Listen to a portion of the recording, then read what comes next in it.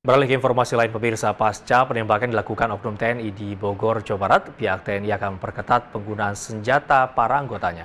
Pangdam 3 Siliwangi Majen TNI Hari Prasojo mengatakan akan memecat setiap anggotanya yang menyalahgunakan senjata api.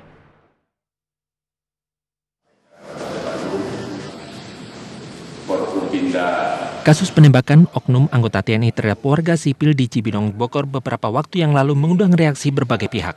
Peristiwa ini mencoreng nama baik TNI.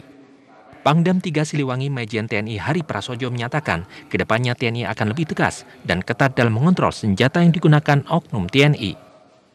Pangdam akan memecat anggotanya yang menyalahgunakan senjata api.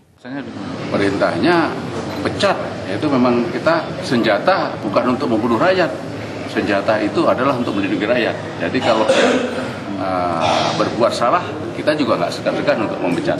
Itu perintahnya. Perintahnya ya. Di dalam internal TNI, prosedur penggunaan senjata api telah dilakukan sesuai aturan, di mana pemegang senjata harus menjalani tes psikologi. Selain itu, jumlah senjata pun harus disesuaikan dengan kebutuhan anggotanya. Dari Cimahi, Jawa Barat, Yuwono MNC Media memberitakan.